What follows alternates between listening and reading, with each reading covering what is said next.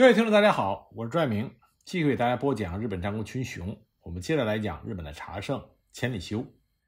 千里修之所以在日本战国期间名气很大，除了他对于日本茶道的巨大贡献以外，另外一个就是他和丰臣秀吉的关系。我们前面提到了，一五七四年，织田信长命令借势三大富商茶人金井宗久、金田宗吉和千里修。成为自己的茶头，那么之后呢？丰臣秀吉也任命这三个人为自己的茶头，但是千利休位居其首。正是因为茶头这个特殊的职位以及丰臣秀吉的支持，千利休成为当时首屈一指的茶人。后来，千利休又组织和策划了丰臣秀吉因为被授予官白而答谢天皇所举行的宫中茶会。千利休为天皇亲自点茶，而被授予了立休居士，从而成为了当时日本天下第一茶人。所有的这些政治活动都是以巨大的动力，推动着草庵沱茶在日本迅速的得以流传开来。而把这种流传推到极致的，是一五八七年所举行的北野大茶会。一五八六年，丰臣秀吉被天皇赐姓丰臣，以及太政大臣之职。次年，他在京都的宏大豪华的府邸聚乐地也建成了。为了表示庆祝，丰臣秀吉拉着千里修，在京都的北野举办了一场面向民众的规模浩大的茶会。丰臣秀吉为这次茶会所发布的布告，可以让我们领略一下这次茶会的规模。其中第二条写着：“只要热心于茶道者，不论是家臣、商人。”还是农民百姓，均可携茶釜一只、水瓶一个、饮料一种前来参加。没有茶的人，拿米粉来也无妨，务必出席。第三条写着：不必担心没有茶食，在松林里铺上两三张榻榻米即可。没有榻榻米者，用一般的草席也可以。茶席的位置自由选择。第四条。日本国人且不用说，只要热心于茶道，来自大明的中国人也可以参加。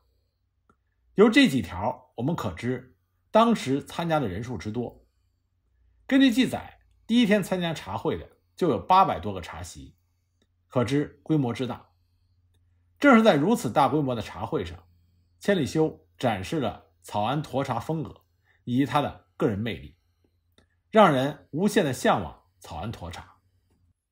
一五八六年到一五八七年，千里修在日本战国的名气达到了巅峰。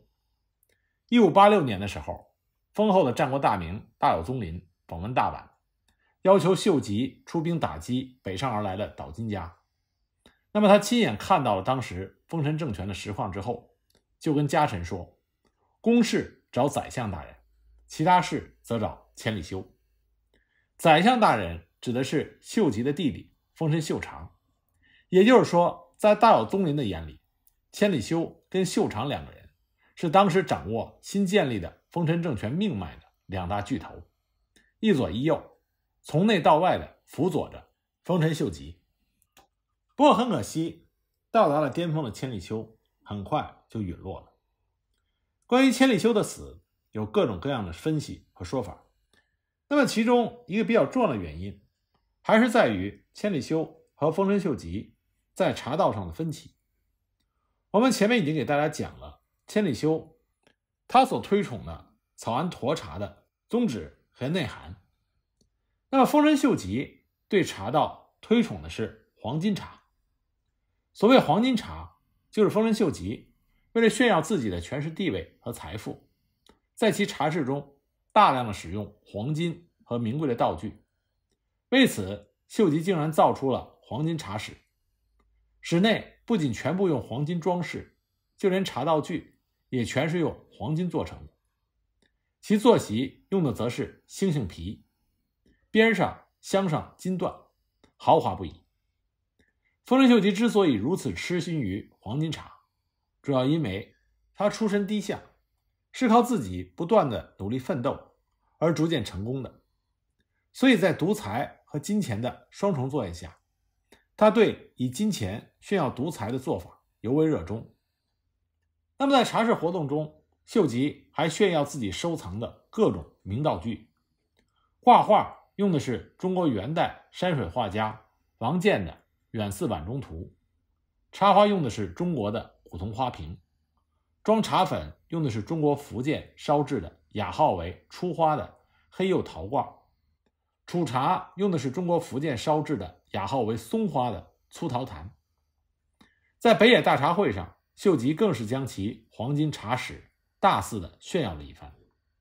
从这些我们可以看到，丰臣秀吉和千里修在对茶道的追求上南辕北辙，截然相反。另外呢，一五八七年，丰臣秀吉已经平定了九州，统一全国。这个，秀吉重点做的是巩固政权，他建立了严格的管理体制，比如说实施了搜刀令，没收农民的武器。在农民与武士之间画下严格的分界线，对各地的大名也采取了前所未有的严厉态度。能够接近秀吉的大名逐渐减少，到了最后，除了千里修，很少有人能够向秀吉直接的进言。那么，因为对千利休茶道的推崇，像德川家康、前田利家、浦生世香这些得力大名，就通过茶道逐渐的聚在了一起。这对于强化身份统治的丰臣秀吉来说是一项危险的举动，所以呢，丰臣秀吉对千里修的茶道也采取了限制。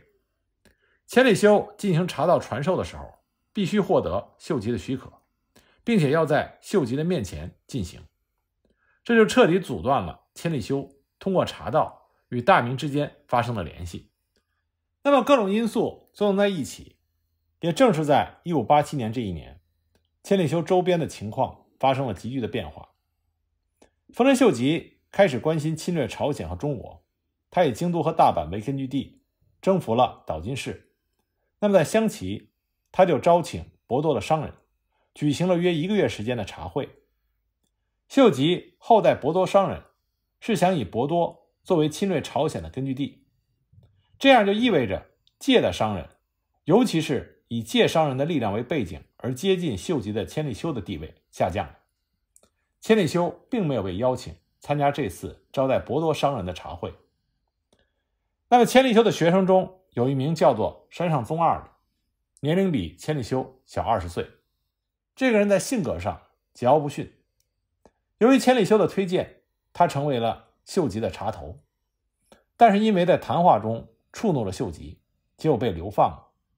他后来就投靠了。小田园的北条氏，北条氏这个时候正在集结关东和东北的势力，抗拒秀吉的称霸，那么就发生了小田园征讨。那千里修的这个学生山上宗二，一看北条氏示弱，就秘密逃出了小田园城，又去投奔丰臣秀吉。千里修从中帮助，总算让秀吉再次收留了山上宗二。可是这个山上宗二旧习不改，仍然以言语触怒了秀吉，结果被秀吉削掉了耳朵，然后在小田园城被处死。那么山上宗二他非常的尊重他的老师千里修，曾经说：“宗义之茶道，冬青树也，一般人无用也。”那么作为千里修的爱徒，他对秀吉言语上的冲撞，和秀吉因此将他处死。这就造成了秀吉和千里修之间的矛盾进一步恶化。那么，千里修之前深受秀吉的宠信，而与他关系密切的，主要是德川家康、浦生世香这些主张内治的分权派。那么，主张侵略朝鲜的石田三成、前田玄乙这些集权派，对千里修是心怀不满的。本来呢，分权派和集权派。之间的平衡是由丰臣秀吉的弟弟丰臣秀长巧妙地进行了维护，但是丰臣秀长很快病死了，这就打破了两派的均衡。那么秀长死后的第四天，千里修的弟子织田有了斋就主持了丰臣秀吉的茶会，而在这次茶会上，千里修被排除在外，这已经开始预示着千里修悲惨的结局。一五九一年闰一月，发生了大德寺山门事件，秀吉和千里修的破裂表面化。原来大德寺山门在英人之乱的时候被烧毁，那么一五二九年由连阁师宗长捐献重建。那么宗长因为收藏《源氏物语》受到处分，虽然尽了力，但还是资金不足，只建了一层的山门。后来呢，宗长计划募捐改建，千里修响应他的号召，为已故的父亲进行法事，奉献资金。那么竣工的时候。重建的山门十分的豪华，大德寺的主持春屋宗元应千里修的请求，在山门上制作了供养人的像，大大表彰了千里修的功德。那么两年之后，千里修被弹劾，理由就是山门的楼上安置着千里修的木雕像。丰臣秀吉也指责将千里修的雕像放在山门上是不敬，是别有居心。那么这个木像事件。被很多人认为是千里修被秀吉下令切腹自杀的重要原因。那么，另外一种说法呢，是说千里修倒卖瓷器，谋取暴利。说是公元一五八八年的时候，千里修以三十块金元从平野道买进了一把茶壶，然后呢，又以五十块金元卖给了秀吉。那么，千里修作为天下的第一茶匠，要求他鉴定。和斡旋茶具交易的事情一定很多，从中获利也不难想象。但是千里修因此而遭到人家的妒忌，趁着他失去了秀吉的宠信，那么在秀吉的面前被人挑拨是非，结果酿成了杀身之祸。不过这两种说法呢，都并不能让人完全的信服，所以千里修的死因就成为了一个历史之谜。那最可能的根本原因。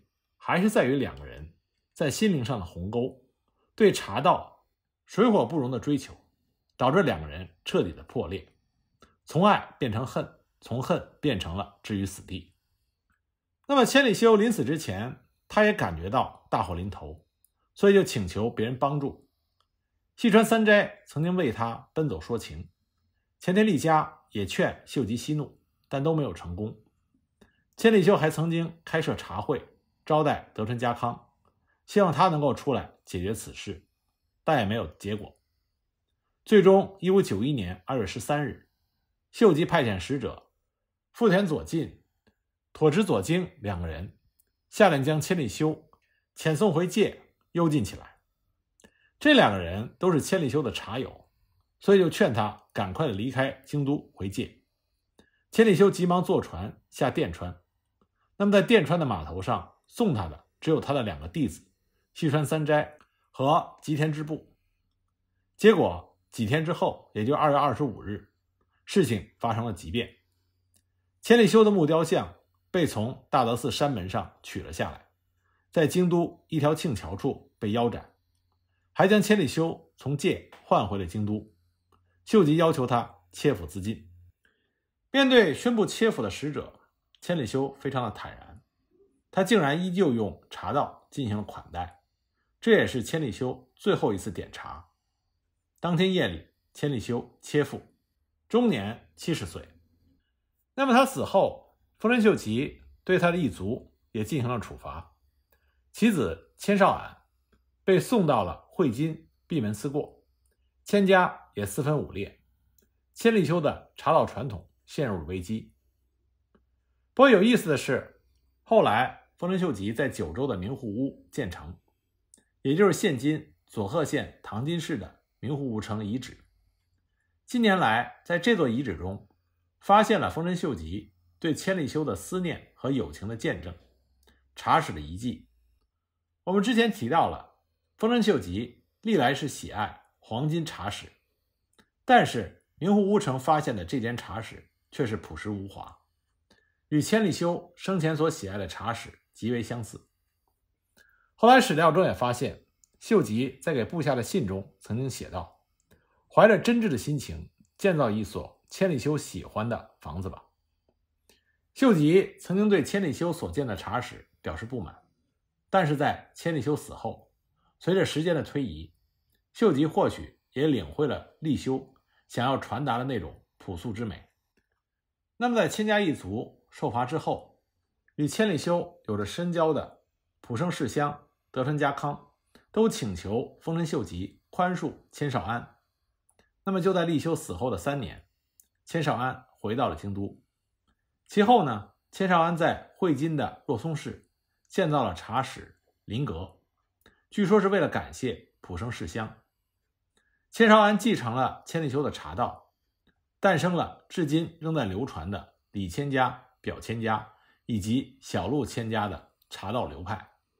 另外呢，千里修的茶道也被他的两位爱徒细川三斋和吉田织部继承了下来，得到了发扬光大，成为了日本传统文化一个重要的组成部分。